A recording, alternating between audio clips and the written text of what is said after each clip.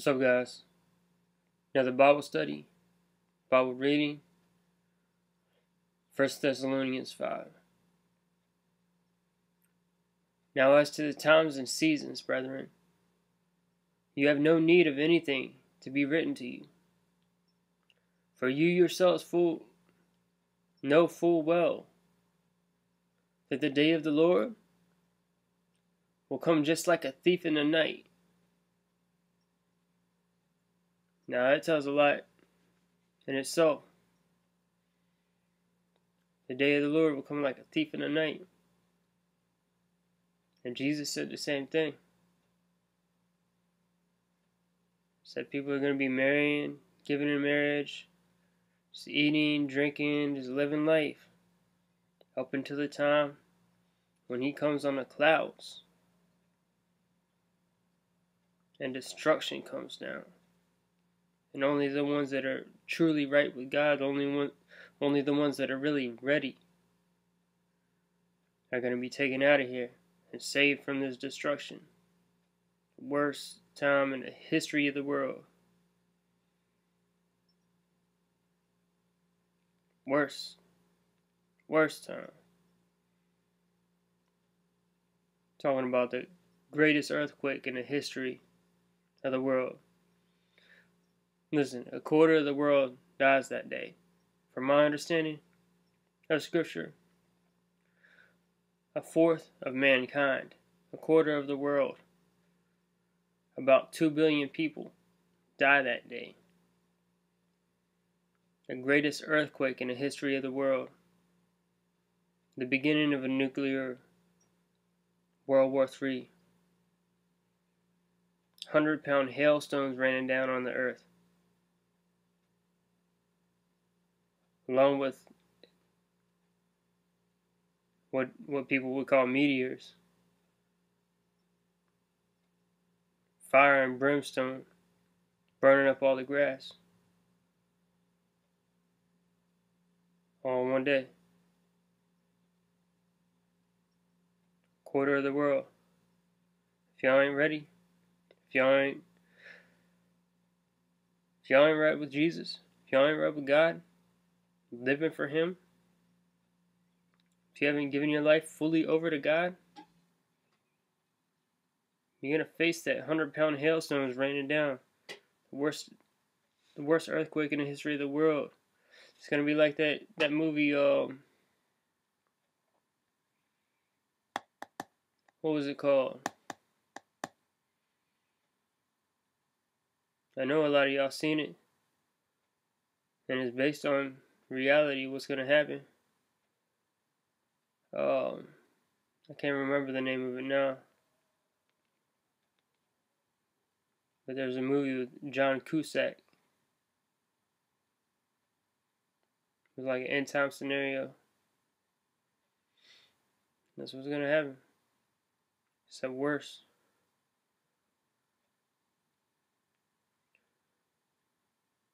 And people ain't gonna be ready.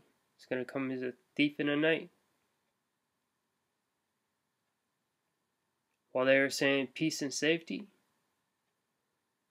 then sudden destruction will come upon them suddenly. Suddenly.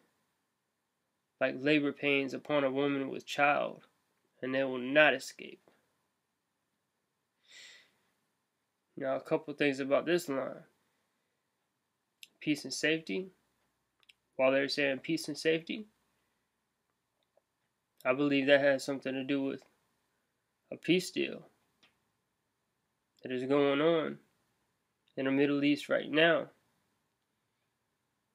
In a couple days, Trump's going to present a peace plan between the Israelis and the Palestinians. And there's a there's a deal mentioned in the book of Daniel that the man of sin, the Antichrist, is going to confirm says says he's going to confirm a covenant for 7 years. Confirm in Hebrew means means strengthen. So if he's strengthening something, a covenant, it means it's already there. And Trump's the one bringing bringing this to the table, presenting it to the world. The peace deal between the Israelis and the Palestinians. But while they are saying peace and safety, then sudden destruction will come upon them. Right? Or in this translation, the destruction will come upon them suddenly, like labor pains upon a woman, woman with child. And if you look up that term, and, and a, like a, do a Bible search, woman with child, or woman in labor, travailing, terms like that, you find out what else happens on this day. It's the resurrection, Gog Magog, destruction of Damascus, destruction of Babylon, the sixth seal earthquake, which is also the Isaiah 24 earthquake. If you want it in detail, go to Isaiah 24, read Isaiah 24, see what's coming upon this world. Read Psalm 18 and see what's coming upon this world in, in addition to that earthquake in the same day. Ain't nobody ready for all that, man. Straight destruction. Nobody's ready for that.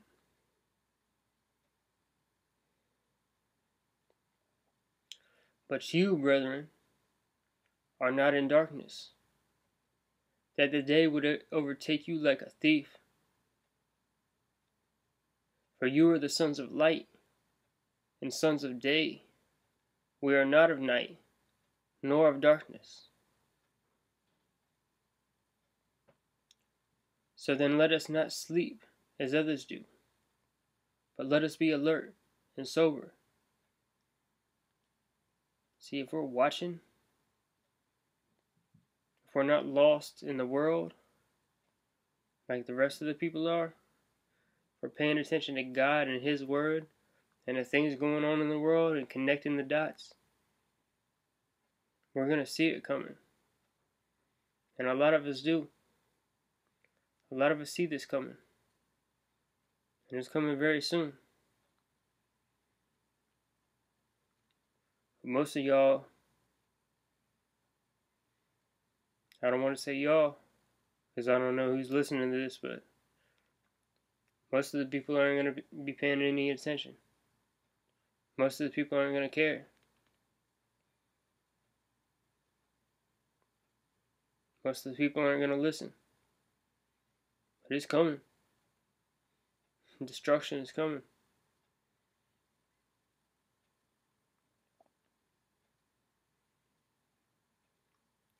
So then let us not sleep as others do, but let us be alert and sober. For those who sleep, they're sleeping at night, and those who get drunk, get drunk at night. But since we are of the day, see, see, night is contrasted with darkness, with evil, with the tribulation time. Day is contrasted with light,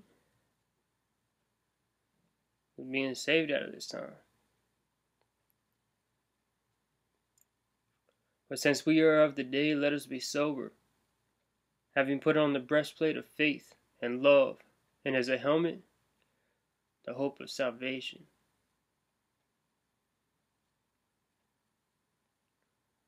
For God has not destined us for wrath. If we're living for Him, truly following Him, and ready, we're not destined to wrath. He's not going to put us through that. But for obtaining salvation through our Lord, through our Lord Jesus Christ, who died for us. So that whether we are awake, alive, or asleep, dead, you will live together with him. Therefore, encourage one another and build up one another.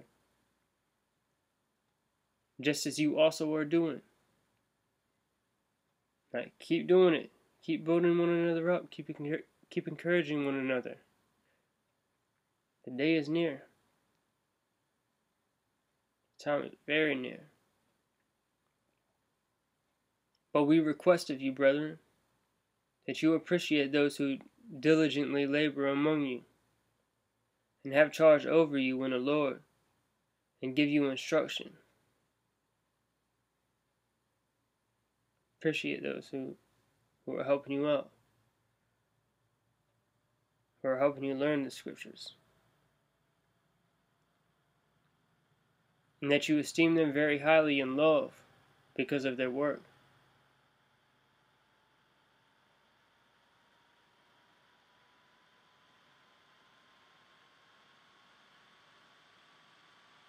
Live in peace with one another. We urge you, brethren, admonish the unruly, encourage the faint hearted, help the weak, be patient with everyone. See that no one repays another with evil for evil but always seek after that which, which is good for one another and for all people. We need to be seeking what's good for all people and helping the weak, being patient with everyone. Encourage those who are struggling.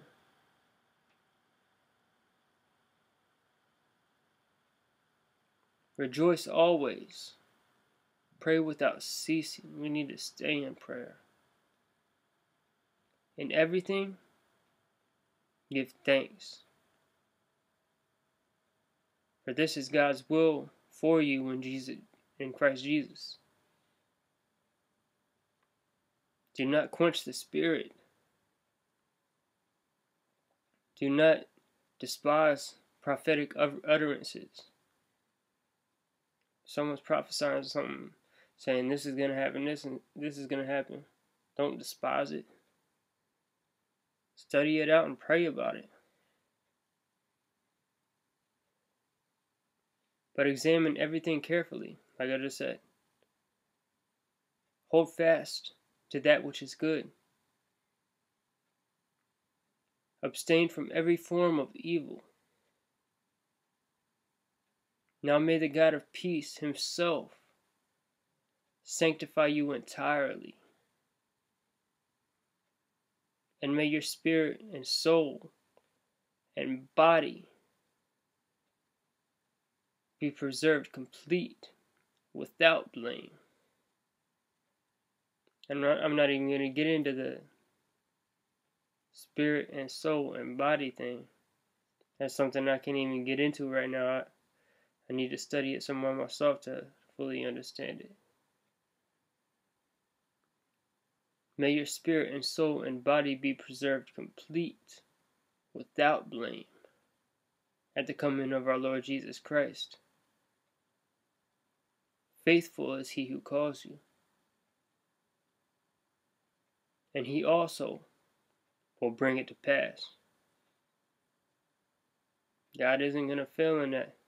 God is going to come through, and everything written in Scripture is going to happen. And the time is now.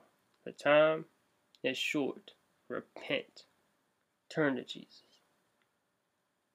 You don't have a lot of time left. None of us have a lot of time left. We need to be right with God. Now. Ain't no time to be playing around.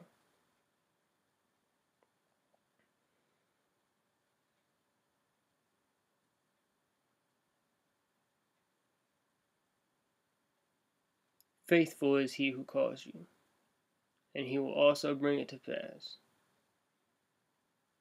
Brethren, pray for us. Greet all the brethren with a holy kiss. I adjure you by the Lord to have this letter read to all the brethren in Thessalonica